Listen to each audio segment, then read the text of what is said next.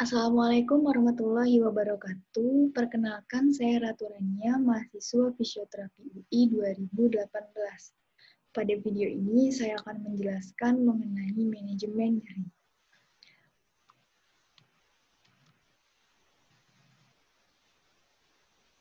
Yang akan saya bahas di sini ada definisi, jenis-jenis nyeri, proses perjalanan nyeri, mekanisme nyeri, alat ukur nyeri, penata laksanaan medis, serta penata laksanaan fisioterapi. Jadi nyeri itu adalah suatu pengalaman sensori atau emosional yang tidak nyaman yang berhubungan dengan kerusakan jaringan. Nah, untuk jenis-jenis nyeri sendiri itu dibagi menjadi empat. Ada yang berdasarkan durasi terjadinya nyeri, berdasarkan penyebab nyeri, berdasarkan sifat nyeri, dan juga berdasarkan sumbernya. Berdasarkan durasi terjadinya nyeri itu dibagi lagi menjadi tiga. Ada nyeri akut, nyeri kronik, dan refractory pain.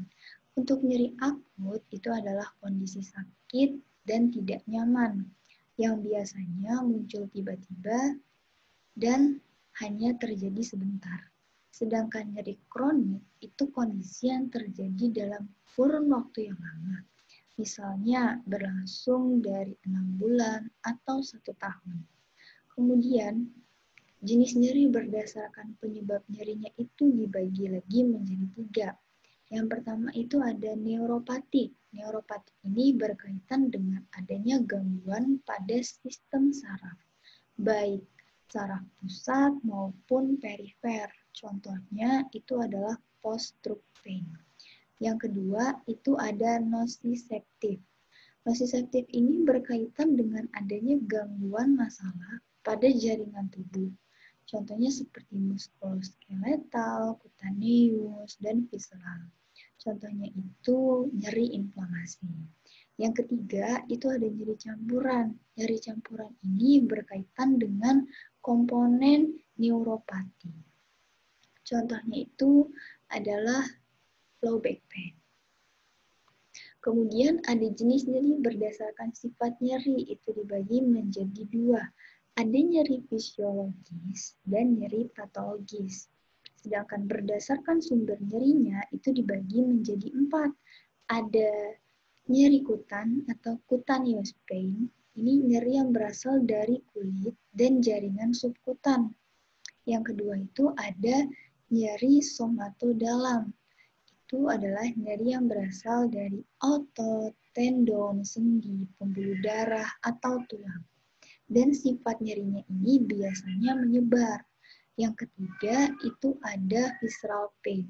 Visceral pain ini nyeri berasal dari organ internal, misalnya lambung, atau batu ginjal. Yang terakhir, yang keempat, itu ada viscogenic pain. Ini dipengaruhi oleh pengalaman fisik dan mental seseorang.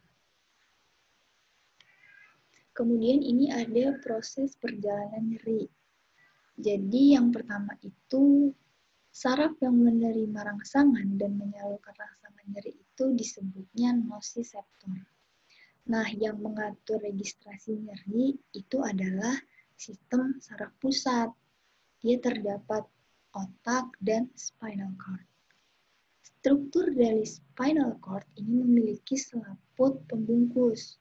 Nah, pada spinal cord ini terdapat jaringan saraf white matter dan gray matter. White matter ini mengandung akson sel saraf yang bermielin sedangkan gray matter itu mengandung badan sel saraf tetapi tidak bermielin. Jadi, impuls aferen dari serabut A, delta, dan C itu diterima oleh neuron proyeksi. Kemudian, impuls aferen ini berjalan ke traktur spinothalamikus lateral sisi kontralateral. Impuls selanjutnya itu berjalan ascenden melalui traktus spinothalamikus lateral. Kemudian traktus spinothalamikus ini berjalan ascending ke talamus. Dari talamus itu dia ke korteks somatosensorik. Setelah impuls sampai ke korteks somatosensorik, muncullah persepsi nyeri berupa lokasi spesifik dan intensitas nyeri. Selain ke talamus, traktus juga mengirimkan impuls ke regio parabrachial. Dari regio tersebut diteruskanlah ke amigdala. Dari amigdala, impuls disebarkan ke sistem limbik. Sehingga muncullah respon emosional terhadap nyeri. Nah, area sistem limbik ini mengirimkan impuls aferen ke PAG di mesencephalon.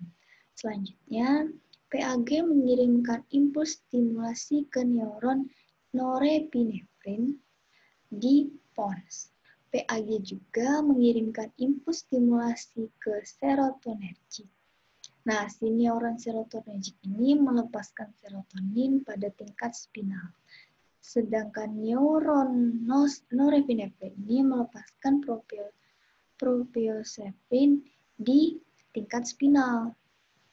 Nah, serabut inhibisi dari descendant ini, neuron serotonergic akan melepaskan serotonin.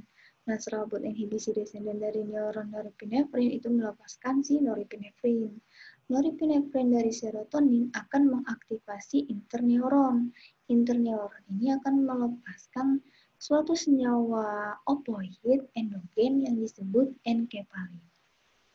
Enkepalin ini berikatan dengan reseptor opoid pada neuron postsinaps dan menginhibisi postsinaps. Si enkepalin juga berikatan dengan reseptor opoid membran persinaps yang kemudian menginhibisi persinaps. Persinaps ini serabut aferen delta dan C. Sehingga impuls aferen nyeri berhenti atau diinhibisi.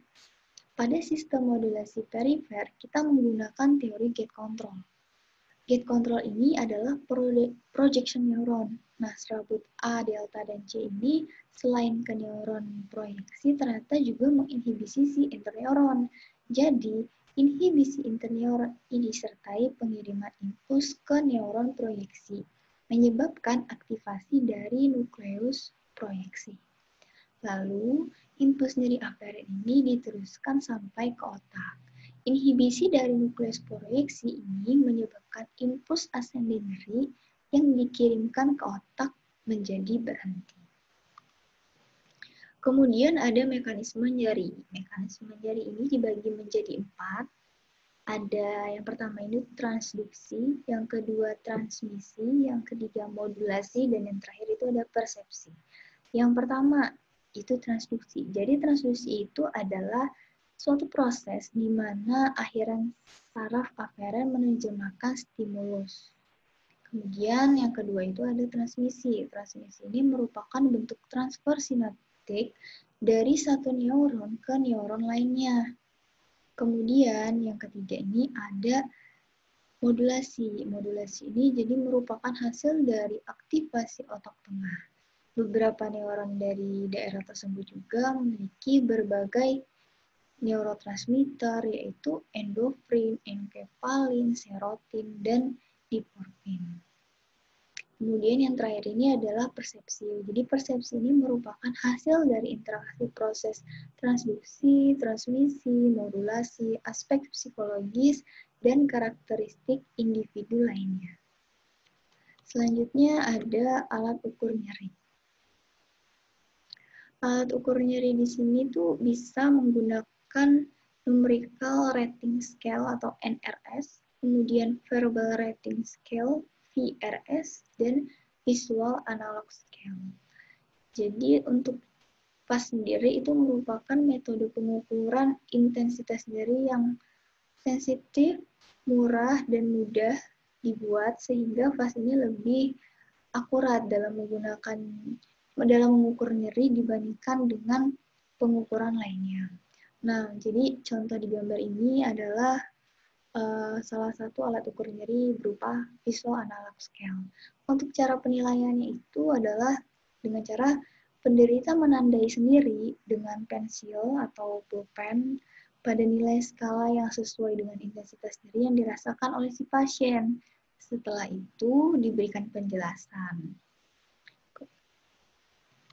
Selanjutnya itu ada tata laksana medis. Tata laksana medisnya ini itu dibagi menjadi tiga. Ada pengobatan farmakologik, pengobatan non-farmakologik atau rehabilitasi medik, dan ada pengobatan invasif. Jadi yang untuk pengobatan farmakologi ini ada empat, ada analgesik non-opoid, analgesik opoid, kemudian ada analgesik topikal, dan juga ada medifikasi neuroaktif.